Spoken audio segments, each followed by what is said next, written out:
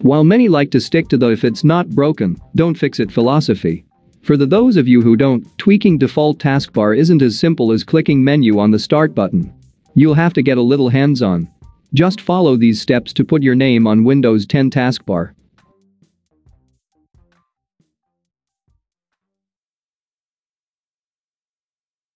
First, go to the date on the bottom right of the taskbar and then right-click on it. Click on the Adjust Date Time.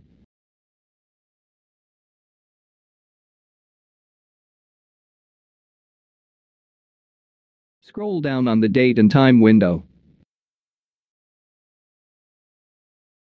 Click on the date, time and regional formatting. Scroll down on the region window. Click on the additional date, time and regional settings. Click on the change date, time, or number formats. Click on the Additional Settings button. Move to the Time tab. Replace the AM symbol with your name. And repeat, replace the PM symbol with your name.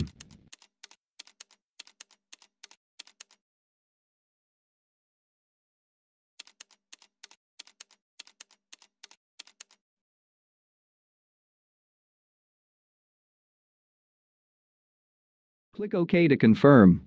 Close all opened windows.